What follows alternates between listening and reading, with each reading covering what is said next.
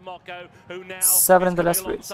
goes by and takes the lead and goes clear by two lengths on the run down towards the final fence. Pepe Lamoco at the last and over safely. Clear of a blundering Le Ligérien in second place. Tokidoki is in third, and up towards the line, it will be Pepe Lamoco who wins. Le Ligérien. For six years old and Hopard horses, number one, Rare Edition, Odi two. One's race number five, Ration, Odi two one, and second number six, Odi three and third, and number two, Odi five, one and five. Number four, Douglas GC, Odi eleven and fifth.